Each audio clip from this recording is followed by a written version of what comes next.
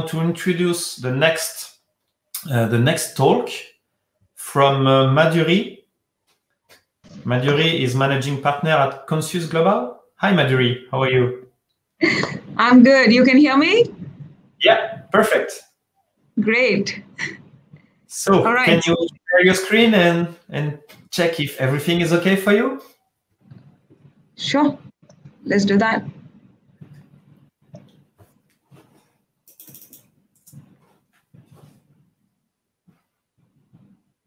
Sound is okay and uh, I see you, so that's perfect.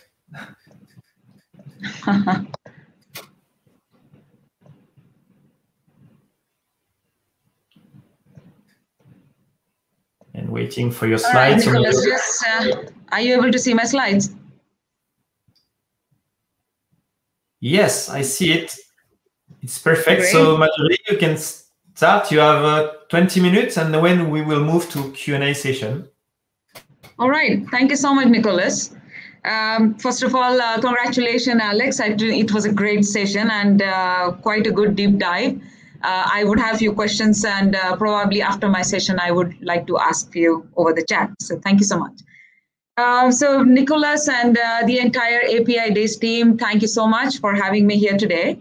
Um, just a quick introduction about myself and Consus Global before we start this, today's topic. Um, so my name is uh, Madhuri Govilkar. I'm managing partner for Consus Global. As uh, many of you already know, Consus is a trusted global supply chain solution provider globally.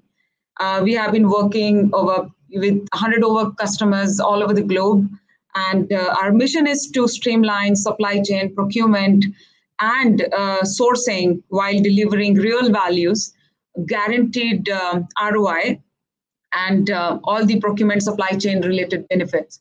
So we have few partnerships uh, for that and uh, in-house uh, incredible uh, brains we have uh, to deliver this year over year for last 11 years, you know, to all our customers. so that's about Consus. And please write to me if you have any questions, if you want to know more about our services. But just at the glance, if you can see here on the screen, uh, these are the uh, this is our portfolio. You know, we have been actually operating out of USA, Canada, UAE, India, Malaysia, Singapore, Philippines. I'm, by the way, based out of uh, Malaysia in Kuala Lumpur. We have been helping customers in supply chain uh, transformation, in creating their roadmaps, and uh, you know, innovate their digital journey.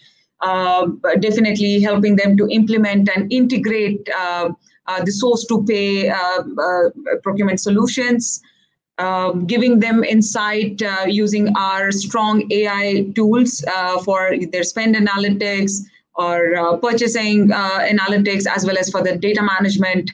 Um, and something which is in our DNA, something which we started uh, our business with, uh, is the strategic sourcing, and that is something we have been giving uh, you know, most of the customers who have been using uh, our strategic sourcing are getting the guaranteed ROI. Happy to discuss all this um, post our, uh, you know, event today or later anytime you want. So that's about Consus Global. Um, moving to our topic today, uh, which is uh, developing green and circular supply chain. So I think I'm very uh, grateful to API Days for selecting this topic for me last couple of years, I mean, even pre-COVID, you know, uh, so many queries have been coming to Consus. We have been helping um, um, so many of our customers uh, with innovative ideas, reaching out uh, to more and more innovative service providers and suppliers who can help them in their green supply chain initiatives or circular supply chain initiatives, or altogether, if I say sustainable supply chain initiatives. So, uh, you know, all these terms, uh, green supply chain, circular supply chain, or sustainable supply chain, they are quite interchangeably used in the market. Um, however, uh, trust me, they are different. They have overlapping benefits. Uh, and I think, um, uh, I hope I can cover uh, some of these important elements and how they are different and yet um, similar. Um, we, we can discuss that into this session. So I personally believe that before even we see that why do we need a change of uh, supply chain, you know, like uh, having uh, circular supply chain or green supply chain, I think it's very essential for us to see what is going wrong with the linear supply chain or the traditional supply chain. Uh, I think that's the only way we can appreciate uh, these new technologies and the new initiatives better. So are you able to see the screens here? okay. All right. So um, I'm just showing on my screen right now is the traditional linear supply chain. As you all can see here, uh, there is, uh, you know, the virgin raw material, which goes to the manufacturer. From there, it goes to the distribution center. From there, it goes to the consumer.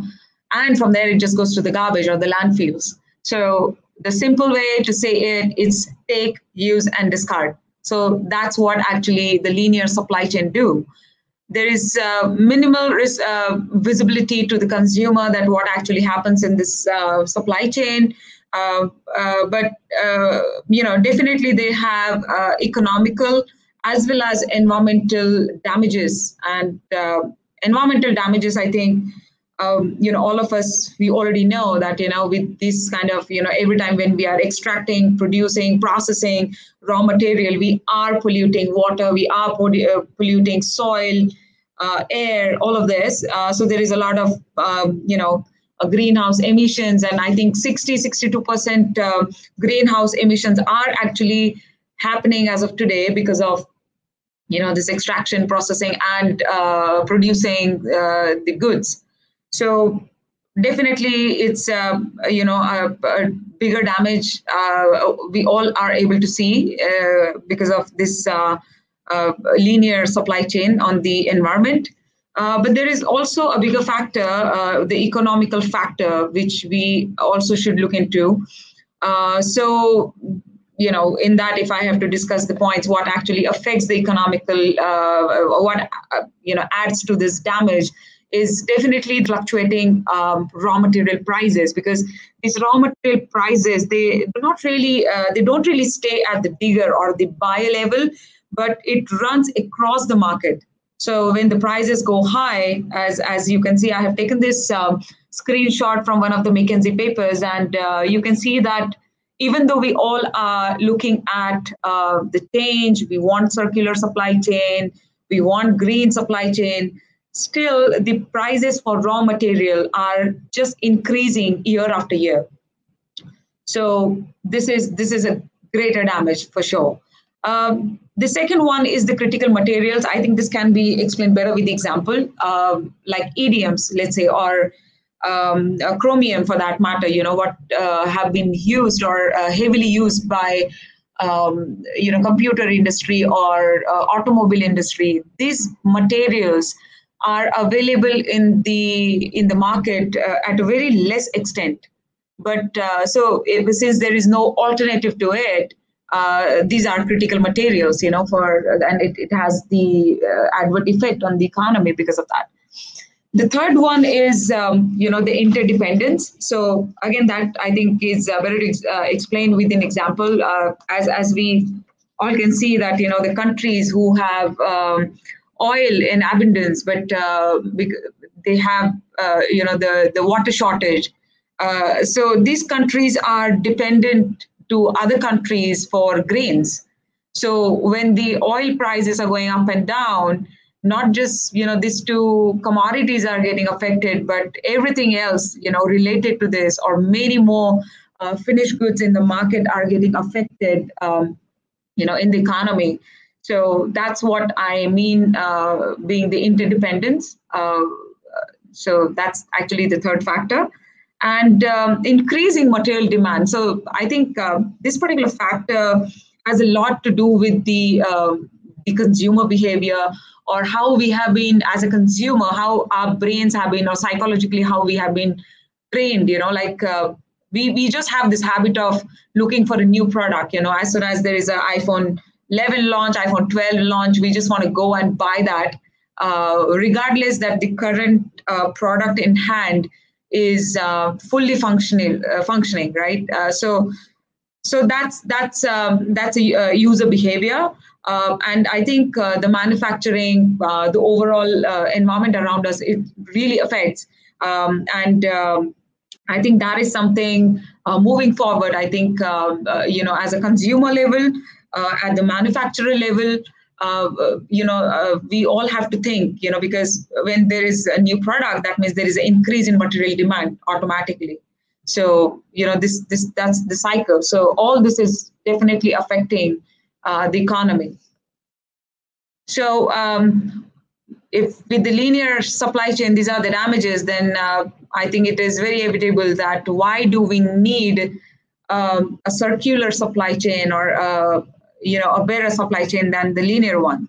So as you can see here, uh, the the raw material basically, or uh, you know from the final destination or from the consumer is getting recycled and reused by the manufacturer. So on theory, if you if you see this, uh, you will see that 100% uh, raw material basically comes from um, the uh, recycled material, and there is absolutely no new version raw material used uh, when you, you are uh, talking about the uh, circular supply chain. So um, is it is it available in the market now? I think uh, I would say the answer is no. Uh, as of today, I think only nine percent. I mean, I, I, the the facts what I'm talking is pre-COVID. I don't even want to talk about uh, what has uh, happened and you know how, what this kind of disruption happened because of the COVID uh, on the supply chain. But uh, if I just even take the pre-COVID numbers, then only nine percent of um, uh, material, the raw material was uh, fully recycled. So that's, you know, that less actually the circular supply chain is um, active in the market. I think it is very important for all of us, for all the companies, uh, governments, consumers, and uh, entire supply chain for that matter, uh, we all need to discover the various different ways to recycle this uh, material uh, and to reuse it for the manufacturer. So unless and until we discover the ways to do that, I think the, the 100% um, circular supply chain is uh, not going to be possible. So that's um, actually uh, the circular supply chain, how it looks like. Uh, the economical, uh, sorry, the environmental advantages are, I think, very obvious uh, definitely, you know, there is going to be green, uh, less greenhouse gases or less damage to the environment, to the soil, to the air, to the water, and uh, definitely the nature reserves will be, you know, conserved better compared to the linear supply chain. So these are very obvious advantages. and from the economical side as well, there are so many benefits that definitely all the companies and all the organizations should be looking at uh, the circular supply chain and you know how they can really uh, figure it out for their organizations. So uh, definitely uh, you know when the same material you know uh, or the resource is coming back to the supply chain um, it is sustainable because you are basically um, cutting or you know uh, reducing the dependency on the, the virgin raw material from the market uh, it definitely have the economical growth. As uh, you know uh, we we discussed uh, and uh, definitely it uh, offers more jobs because what happens actually is with the circular supply chain you know the labor is valued more than the raw material. And that definitely shows the incremental uh, labor intensive recycling and high quality repair jobs, uh, logistic jobs to take back um, you know the uh, the local products, the uh, the repairable products uh, back to the factories for the repair uh, and maintenance. Um, definitely, there are going to be more and more companies coming in the market, and there are already many companies in the market who are working as a collaboration for multiple different organizations uh, coming up with the innovation ideas, helping companies to uh, improvise their processes or to define the processes for this new supply chain or providing the advisory some, someone like Consus you know. So we uh, so th- that's these are the additional new services or the additional new jobs which are coming in the market because of the circular supply chain change in material demand again because you know psychologically as uh, you know uh, there will be uh, you know the customers will be looking at the uh, long-term relationship with also the product what they will be buying. There, there is going to be the less wastage there is going to be less raw material uh, the packaging will be innovative and you know lesser packaging compared to what we had earlier. So all these factors are definitely going to be having a change material demand. So one of the example is um, just uh, like a few months back when I bought iPhone 12, I, I, I noticed that uh, it came just as a small box. You know, I mean, earlier, uh, if you notice that, you know, how you get your mobile phone, you get the charging cable, you get all other accessories. And now all I got is just a small box. There was no charging cable, nothing. Because I think they have um, understood the uh, the uh, the consumer behavior or the pattern. They know that uh, the previous iPhone uh, consumer is going to buy uh, the, the, new iPhone, he would definitely have the cables and all. So there is definitely uh, the lesser raw material going, the lesser packaging going uh, into the, um, you know, as, as a new product. So I think um, small changes uh, can also make a big impact onto the supply chain and the economy. So, um, as as the topic, I am supposed to talk about the uh, circular as well as the green supply chain, and I personally believe that uh, if I am not talking about the sustainable supply chain, then I uh, would not be able to fully uh, able to explain or to introduce what is the green supply chains, right? So as a, a sustainable supply chain, uh, I think it, it, basically have three pillars, you know, three bottom lines. One is the environmental or the green. The second one is uh, the social, and the third one is the governance. So you know, in nutshell, if we have to, uh, you know, talk about the, the, sustainable supply chain, then it's basically, um, you know, without basically compromising the ability of a future generation to meet their own needs, creating a today's or present supply chain, right? So I think these three pillars are very, very important, and uh, all these three bottom lines work together to build the sustainable supply chain. So even while we will be discussing about the green supply chain today, I think um, uh, I, I, think we all need to make a note that uh, just having the environmental um, uh, you know enhancement or the green uh, initiative is not just going to be enough because unless and until we have been taking care of the uh, the equal pay um, you know the human rights um, uh, you know the product responsibility child labors and you know the business ethics compliances and um, you know the shareholder democracy. So many many different factors are there. And all this uh, need to they are interlaced together. So unless and until they all are being worked upon i think we would not be able to see uh, a you know uh, a better sustainable supply chain in the market.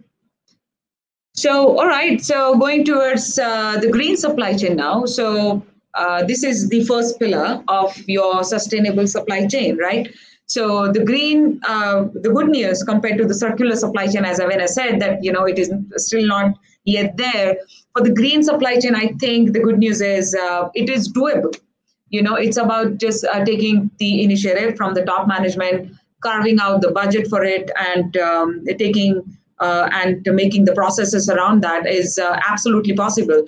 So green supply chain, as the you know the term says itself, is actually um, inducing or including the process, uh, uh, the green process during the product design, material sourcing, selection, manufacturing, production, operation, and even you know when as an end of product as well, right, or end of life uh, product as well. So that's what is the uh, the green supply chain um, management. So I uh, the next one which I would like to you know uh, would like to talk about is why developing this green and um, circular supply chain is so important, right? So I think we have seen the advantages and disadvantages of how it affects the environment, how it affects the economy. Uh, but um, it, it, it matters more than that uh, because, uh, you know, as um, in the face of increasing scandals around the world concerning corporate ethics and uh, corporate governances, many governments, you know, across the globe have actually responded with a greater oversight and um, uh, you know the government activities. Uh, so these are actually uh, becoming mandatory and for most of the companies. So most of the um, multinational companies as of today are struggling and striving to become the forerunner on the world stage by becoming or coming up with the holistic, um, sustainable uh, strategies to comply with international principles and the standards. So definitely, it's very very important. Uh, increasing profitability uh, is the second element to it. Um, I think we already discussed that. Uh, you know, since it's uh, uh, you know helping you with the sustainable material, definitely that point itself talks a lot about how we are increasing the profitability. Uh, but apart from that, uh, you know, it also shows uh, at various different levels because you are ensuring a safer working environment. You are uh, talking about the lean production. Uh, we are talking about the quality management. Um, you know, optimized inventory and optimized or smart warehousing. So all these factors are also adding up to your increased profitability, right? Thank you. Uh, uh, hey, yes. excuse me, just uh, there is two minutes left, and okay. we have Q&A. So if you want to to finish your presentation, and then we move to okay. Q&A. Perfect. Thanks, Nicholas, for the reminder on that. So um, I, I, will just wrap this up very quickly because I, I, just thought along, you know, when we just talk about the green or sustainable or the circular supply chain, I think these these factors are equally important. Uh, so the other two factors are building the positive image. Uh, as you know, the growing supply, uh, the consumer demands around uh, you know all this green product, uh, where actually after the product uh, at the end of cycle where it is going, all these things matter so much to the consumer. I think it is very very important for the manufacturer to think about this positive brand imaging right now.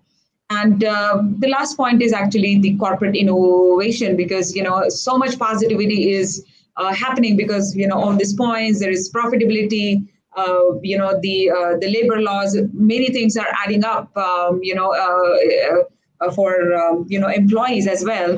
That uh, from the top management i think it's the perfect opportunity for all of them to think about the innovative ideas to look into the new product line new services to enhance their businesses at the same time. Okay. So um, yeah nicholas Thanks a lot, Madhuri. Uh, so maybe I can ask you one question now? Yes, please go ahead. Okay, so you, you talk about iPhone devices uh, and you talk about yeah. recycling for manufacturers, but yes. we know that recycling for, uh, let's say, uh, consumer equi equipment like smartphone are quite difficult. Um, so do you see some trend uh, to repairable smartphones? is it is it uh, like a question coming from the love of iPhone? no, no. Okay. okay. Uh, actually, Nicholas is a good point. Um, I actually have uh, found an amazing uh, case study by Apple. It's publicly available. Uh, I have downloaded that copy. I can pass it on to you. So um, you know, uh, not just Apple, but all these um, you know companies, uh, electronic companies. I think uh, they have been looking at harvesting the metal parts, uh, which are the discarded metal parts. You know, coming uh, taking back the old phones, uh, the old accessories. because you know that actually leads to the less harm to the environment and increases their profitability. So yes, actually, iPhone or Apple is actively working on that um, and the other thing, you know, I think we all can see, you know, the wireless charging, right? So that's that's a great initiative. I mean, we we had the the chargers earlier we uh, we were using, and now we are just charging it uh, wireless. So there there is a change, which is very visible change, you know, from the bigger organizations. Okay. Okay. Okay. Thank you, Madhuri. Let me check the Q&A. for the question, and we are let's say in time. So thank you, Madhuri. Uh, do you have anything to uh, to add, or is it okay for you?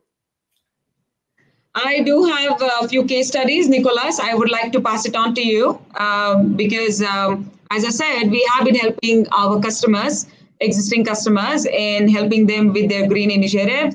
Uh, just a quick one line here because we don't have much time right now. Uh, for one of our hospitality customer uh, in Southeast Asia, we have uh, helped them to uh, replace, you know, their plastic bottle uh, for their hotels with the glass bottles. And with that, in five years, they would have actually collected as much as 80 basketball court size plastic and now they are they have actually uh, you know uh, with the new initiative uh, they have their own uh, drinking and uh, uh, cooking water plant and the glass bottle so you know it's, it's a fantastic initiative so we right. help them to upgrade the suppliers and helping them to build this okay thank you madhuri so hesitate to add things into the chat on opin Sure. And thank you for your presentation and for your time. Thank you, Madhuri. Thank you, Nicholas. Thank